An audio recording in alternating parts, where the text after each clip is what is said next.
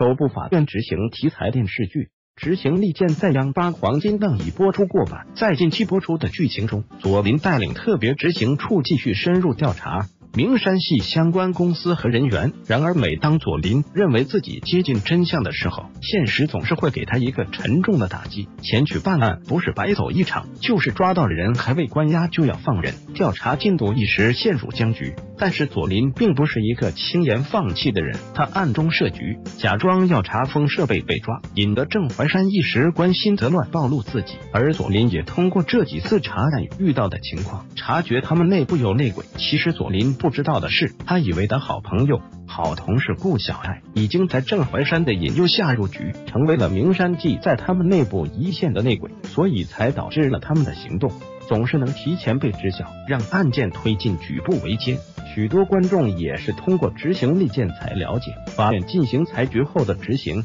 会产生这么多困难和阻碍，想得到那些罚款。赔偿根本没有那么容易，一线的执行人员往往承受了各个层面最大的压力，被执行方为了逃避处罚，无所不用其极，通过隐匿、转移财产，甚至采取诱骗法官等卑劣手段拒不履行，给人民法院的执行人员增加了极大的困难。那些暗涌耸动的幕后，那惊心动魄的斗争，是一场看不见硝烟的战争。就比如名山系玩弄股权操作、恶意收购。账目篡改等等，无所不用其极，突破了观众的想象。正是因为这些我们平时接触不到，但确确实实是会发生在我们身边的故事情节，所以执行利剑每一集新的剧情都能够引发观众们的广泛关注和热议。很多的观众在看了该剧之后，都纷纷表示陷入其中不能自拔，每一天都希望明天的剧情，索林带领的执行人员能抓到这些罪犯，将他们绳之以法。